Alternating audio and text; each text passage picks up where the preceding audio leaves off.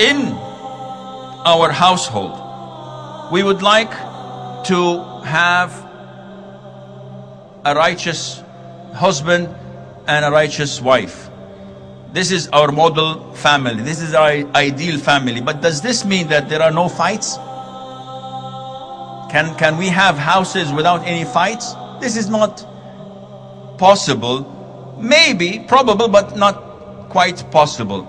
Even in the best of houses, you would find some sort of skirmishes. Not fights, but here and there. The Prophet ﷺ with Aisha, Aisha used to be upset with him sometimes. Imagine Aisha being upset of the Prophet of Allah this is normal. This is a, a man and his wife. It has nothing to do with the messenger and the servants of Allah. It has to do with the man and his wife. And the Prophet said this, Oh Aisha, I know when you are pleased with me and I know when you are angry. He said this out of the blue. They were happy, so they were just chit-chatting. So I said, I know when you're angry and I know when you are not. She said, how do you know that, Prophet of Allah? He says, when you are angry, you say no by Ibrahim's Lord. And when you're happy, you say no by Muhammad's Lord. And she said, yes, Prophet of Allah, this is true. I do not abandon anything except your name. I love you, but when I'm angry, I do not call your name. Ah, Fatima and Ali, may Allah be pleased with them. Also, they used to have skirmishes. The Prophet came once to his daughter's house. Where is Ali? She said, he got angry, we had something and we fought over something, so he went to the masjid. So the Prophet goes to the masjid and finds Ali sleeping on the floor and he wakes him up and he says, stand up, the father of dust, because he was sleeping on the, the soil. And he said, this is the most beautiful name. I would never ever trade it for anything. Aba Turab. This is his nickname. May Allah be pleased with him. Umar, may Allah be pleased with him a man has a fight with his wife and he is so outraged of her character. So he goes to Umar to complain, the Khalifa, the Caliph.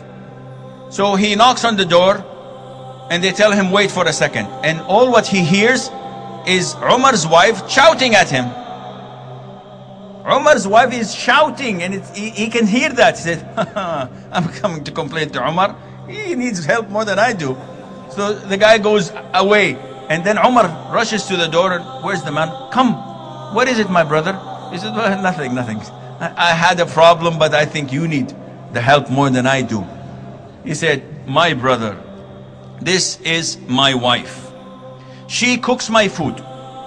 She bakes my bread. She washes my clothes. She, she suckles and breastfeeds my children. And she does not have to do all of that.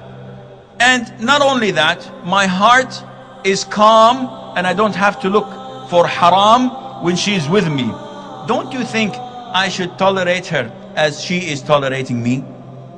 Wallahi, if we look at our spouses with this way, we would live a beautiful life. Because then we, whenever shaitan comes to us and says, do this or do that, I say, no. She tolerates me. My wife tolerates me. I have a lot of shortcomings. So if she cooks the food that is bad and half burnt and no salt in it, I will eat it. I will eat three or four uh, uh, uh, uh bites of it and say, May Allah bless you, the food was excellent. And I'm lying. Why? Because I don't take her out. I don't buy her presents. I am not kind to her.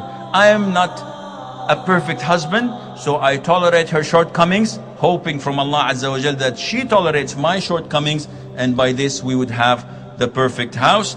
And Allah Azza wa Jal knows best. I pray to Allah subhanahu wa ta'ala that He would fix all our shortcomings and that He would make our houses ideal Muslim houses. Wallahu a'lam.